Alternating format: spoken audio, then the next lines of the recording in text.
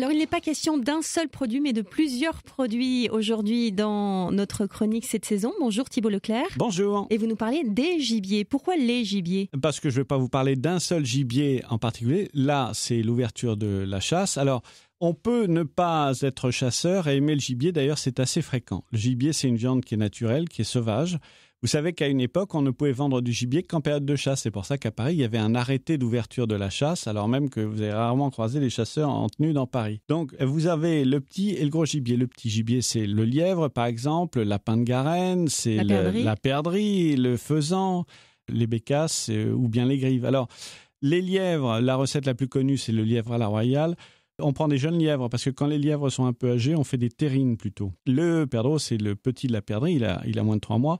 Les perdreaux, là, on les fait plutôt soit avec du raisin, soit avec du chou. Vous mettez ça dans la cocotte et vous laissez cuire doucement. Si c'est du raisin, il va s'imprégner du raisin, ça va faire un sucré salé. Le chou, c'est plus classique avec un peu de lard, bien sûr. Et puis sinon, les recettes de gros gibier, là, c'est plus quand on approche des fêtes de fin d'année. C'est le chevreuil, par exemple. Alors, ne me faites pas le complexe de Bambi parce que je vous signale que les chevreuils, il n'y en a jamais eu autant euh, en France. Hein. Il y a un nombre considérable de chevreuils.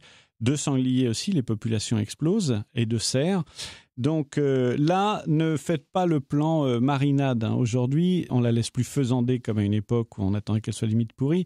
On la laisse rassir comme toutes les viandes, mais après, on va les cuisiner en rôti. Donc ça vous donne des viandes qui sont très légères, qui sont très saines. Oui, plus diététiques hein, que l'image qu'on en avait. Bien sûr, beaucoup plus diététiques. Et donc Là, vous rentrez dans la période de l'automne. L'automne, c'est le gibier. Et puis en plus, ça donne des très belles perspectives d'association en sucré-salé. Vous pouvez euh, utiliser euh, quelques fruits euh, pour compléter les, recettes de gibier. Donc tout ça va très bien ensemble. Alors on en profite, c'est la saison. On mange du gibier. Merci beaucoup Thibault Leclerc. On retrouve bien sûr hein, tous ces conseils, toutes ces recettes sur le site terroirdechef.com. Et vous, on vous retrouve très bientôt. À bientôt Thibault Leclerc. À bientôt.